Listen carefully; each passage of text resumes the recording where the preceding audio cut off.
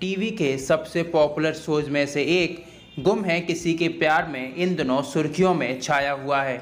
एक तरफ़ तो शो में 20 साल का लीप आ रहा है और इस वजह से नील भट्ट और आयशा सिंह शो को अलविदा कह रहे हैं, क्योंकि वो बड़ी उम्र वाला रोल नहीं निभाना चाहते हैं, इसलिए वो शो को अलविदा कह रहे हैं।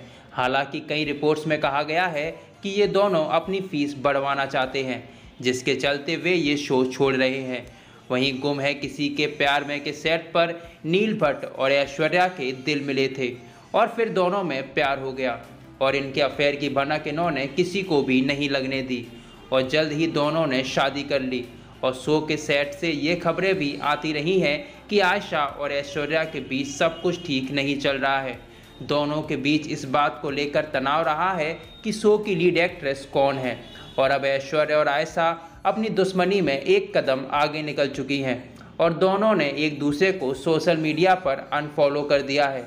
इन दोनों के बीच कैट फाइट की वजह जो भी हो, लेकिन सोशल मीडिया पर यह खबर काफ़ी चर्चा में है कि दोनों नील भट्ट को तो फॉलो करती हैं, लेकिन एक दूसरे को फॉलो नहीं करती। और एक यूज़र का दावा है कि साल 2021 से ही ऐश्वर्या और आयशा एक दूसरे को फॉलो नहीं कर रही हैं। और अब इनके झगड़े की वजह क्या है, ये तो नहीं पता।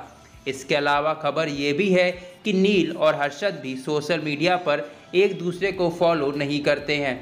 और इस शो के लेटेस्ट ट्रैक में पाखी को गिरफ़्तार करने पुलिस चौहान हाउस आती है। और पुलिस के आते ही परिवार को पता चलता है कि पाखी ने बैंक से लोन लिया था और अभी तक उसे चुकाया नहीं है। वहीं टीवी के पॉपुलर शो गुम है किसी के प्यार में घर घर में अपनी पहचान बनाए हुए है। पिछले महीने ही इस शो में पत्र लेखा का रोल निभाने वाली ऐश्वर्या शर्मा ने शो को अलविदा कह दिया था।